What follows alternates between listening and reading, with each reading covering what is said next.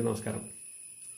Today let's discuss about the chapter universe a great wonder പ്രപഞ്ചം എന്ന മഹാത്ഭുതം it start with a picture look at the picture it's a common scene അല്ലേ? നമ്മൾ സാധാരണ കാണുന്ന ഒരു ആ, കാഴ്ചയാണ് അല്ലേ?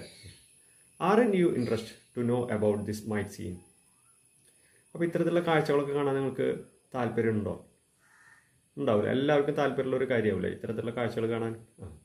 This lesson taken you to these wonders അപ്പോൾ ഇത്തരത്തിലുള്ള അത്ഭുതങ്ങൾ മഹാത്ഭുതങ്ങളെ കുറിച്ചൊക്കെയാണ് നമ്മുടെ ഈ പാഠഭാഗത്തിൽ പറയുന്നത്. Every one of you is a member of a family നിങ്ങളെല്ലാവരും ഒരു കുടുംബത്തിലെ അംഗങ്ങളാണ് അല്ലേ? അല്ലേ? ആ, നമ്മളെല്ലാവരും ഒരു കുടുംബത്തിലെ അംഗമാണ്. Just like that earth is a member of family അതുപോലെ തന്നെ ആ ഭൂമിയും എർത്തും ഒരു മെമ്പറാണ് അംഗമാണ് ഇതിലെ ഒരു ഫാമിലിയിലെ. അത് ഏതാണ് ആ ഫാമിലി? Solar system സൗരയൂഥം.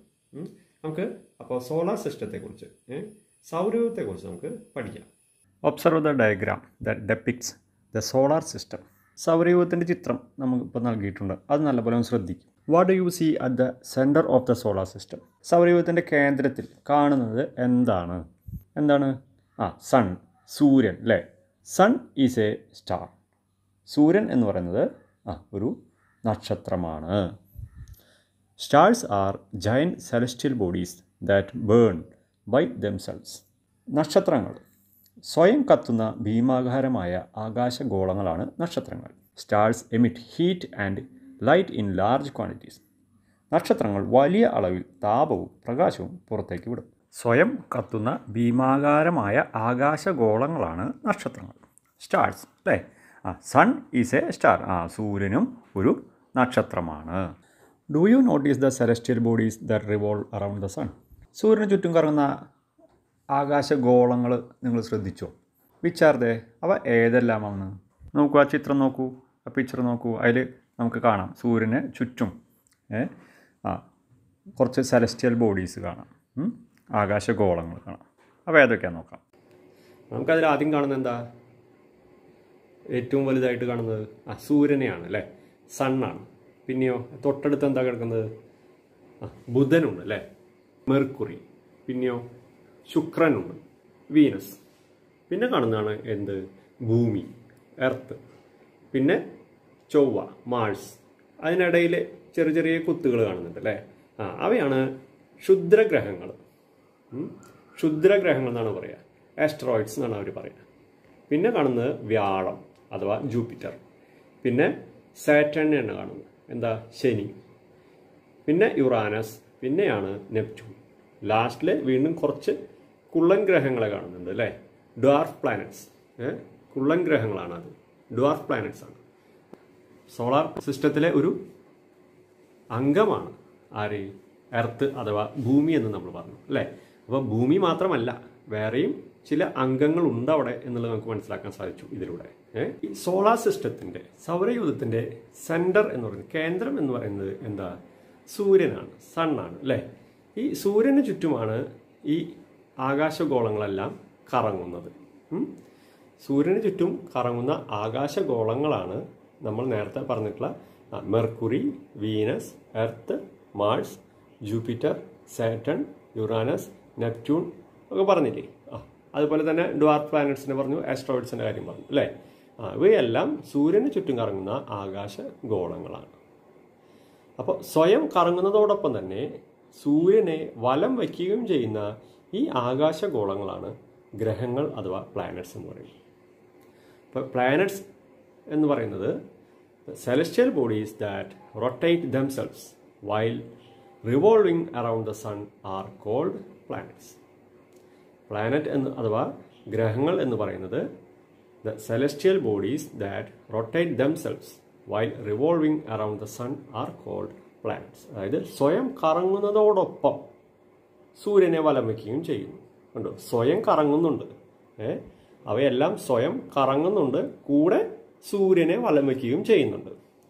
ഈ സെലസ്റ്റിയൽ ബോഡീസ് ആണ് ആകാശഗോളങ്ങളാണ് ഗ്രഹങ്ങൾ അഥവാ പ്ലാനറ്റ്സ് അപ്പോൾ നമ്മൾ നേരത്തെ പറഞ്ഞ പ്ലാനറ്റ്സിൽ പെടുന്നതാണ് ഏതൊക്കെ? ആ മെർക്കുറി ആയാലും വീനസ് ആയാലും എർത്ത് ആയാലും മാൾസ് ആയാലും ജൂപ്പിറ്റർ സാറ്റൻ യുറാനസ് നെപ്റ്റ്യൂൺ ഇവയെല്ലാം തന്നെ നമ്മൾ ഈ ഗ്രഹങ്ങളിൽ പെടുന്നതാണ്. ഓക്കെ. അപ്പോൾ നമ്മൾ സോളാർ സിസ്റ്റത്തെക്കുറിച്ചാണ് പറയുന്നത്. സോളാർ സിസ്റ്റത്തിന്റെ സെന്ററിലാണ് എന്ത്? സൺ അഥവാ സൂര്യൻ. ഈ സൂര്യന് ചുറ്റും സ്വയം കറങ്ങുകയും എന്നാൽ സൂര്യനെ വലം വയ്ക്കുകയും ചെയ്യുന്നുണ്ട്. അല്ലേ? അവയാണ് എന്ന് പറയുക പ്ലാനറ്റ്സ് എന്ന് പറയുന്നത്. ഓക്കെ നമ്മൾ സൂര്യന് ചുറ്റും ഗ്രഹങ്ങൾ സഞ്ചരിക്കുന്ന ആ ഒരു ചിത്രം കണ്ടു അല്ലേ? അപ്പോൾ ഇങ്ങനെ ലൈൻ ഇട്ടിട്ട് പോയിട്ടുണ്ട് അല്ലേ? ശരിക്കും അങ്ങനെ ഒരു ലൈൻ ഉണ്ടാവുമോ ഇല്ല അത് നമുക്ക് മനസ്സിലാക്കാൻ വേണ്ടിയിട്ടാണ്.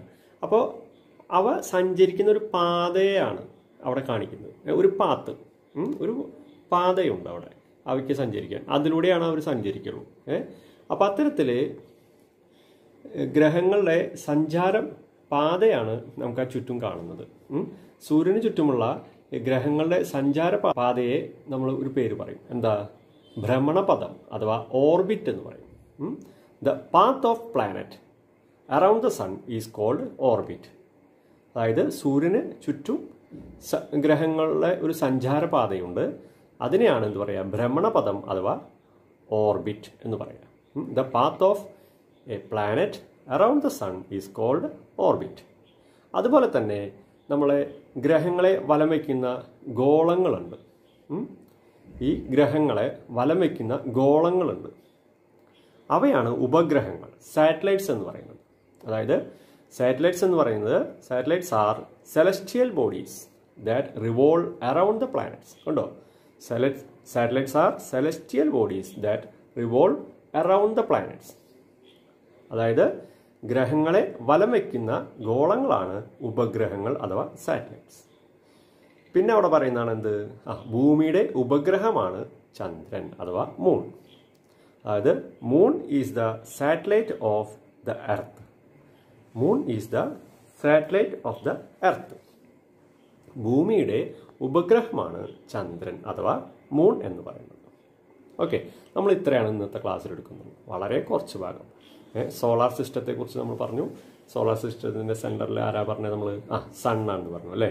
പിന്നെ അതിന് ചുറ്റുമുള്ള സെലസ്റ്റിയൽ ബോഡീസ് അവയ്ക്ക് ഒരു പറയുന്നുണ്ട് എന്താ? ഗ്രഹങ്ങൾ അഥവാ പ്ലാനറ്റ്സ് എന്ന് പറയുന്നുണ്ട് അല്ലേ? അതുപോലെ ഈ ഗ്രഹങ്ങളെ പ്ലാനറ്റ്സ് പ്ലാനറ്റ്സിന്റെ പാത്തിനെ കുറിച്ച് പറഞ്ഞു ഓർബിറ്റ് അല്ലേ? പിന്നെ നമ്മൾ എന്ത് പറഞ്ഞു? ഗ്രഹങ്ങളെ വലം വയ്ക്കുന്ന ഗോളങ്ങൾ സാറ്റലൈറ്റ്സ് അല്ലെ? ഉപഗ്രഹങ്ങളെ കുറിച്ച് പറഞ്ഞു. പിന്നെന്താ പറഞ്ഞു നമ്മൾ ആ ഭൂമിയുടെ ഉപഗ്രഹമാണ് മൂൺ അഥവാ ചന്ദ്രൻ എന്ന് പറഞ്ഞു അപ്പോൾ ഇത്രയും ഇന്നത്തെ ക്ലാസ്സിലെടുക്കുന്നുള്ളൂ ഏ? അപ്പോൾ നമുക്ക് അടുത്ത ഒരു ടോപ്പിക്കുമായിട്ട് അടുത്ത ക്ലാസ്സിൽ കാണാം.